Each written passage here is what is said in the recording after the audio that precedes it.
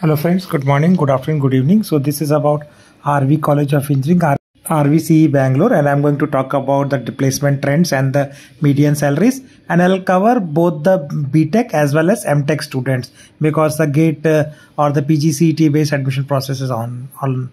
So talking first about the type of companies which are visiting for ECE departments all the good core companies are visiting. So that is the good news. And uh, if you see texas instrument nxp semiconductor nokia siemens bosch qualcomm synopsys and intel. All of these are the core site companies and provides for good placements. So these are the placement trends for last few years and it is provided on the rv college of engineering ece main uh, placement website right? And uh, if you see the performance for starting 2022 batch right? And ug pg both are given.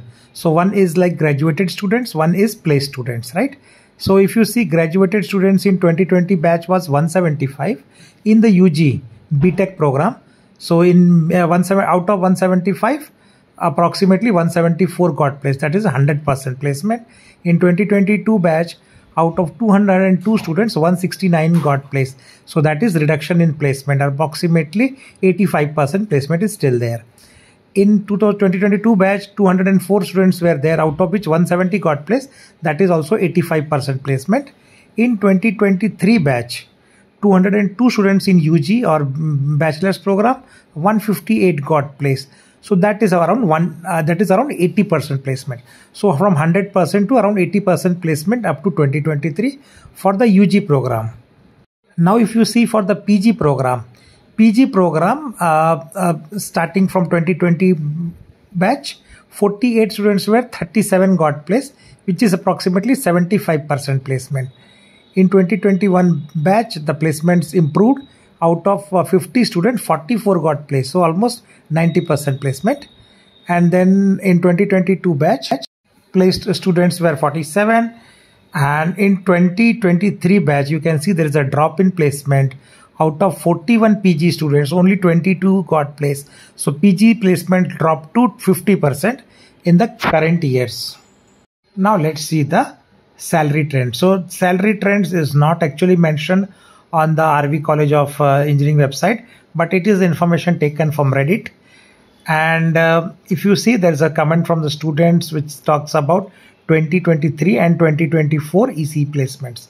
So let's first start with 2023. If you see, it says that average of EC in RV College is 14.4 lakh, 0.45 lakhs per annum and median around 14 lakhs. So that is quite good placement trend and similarly highest salary in 2023 batch was 57 lakhs which excellent in the next year in 2024 batch average of ece as mentioned by student is 15.29 lakhs so little bit improved average.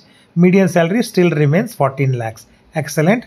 And the highest salary in 2024 batch was 41 lakhs which was given by nvidia. So that is quite excellent trend for ece in the ug level.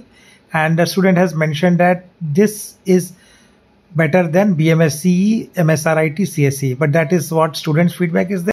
But no data is provided based on for basis of that. So there was another feedback and how it is compared to PSCSC. So again, it is said that PS, PSCSC is great. It's better than BMSC or MSRIT CEC at par with RV, CSC and ISC. So that is what typically is considered, you know, that uh, PES CSC is quite good and excellent and it is at par with uh, RV college and there are many feedbacks like that. So that's all I have to cover in this video. Thanks for watching. Please do subscribe channel to get similar updates. Take care and bye.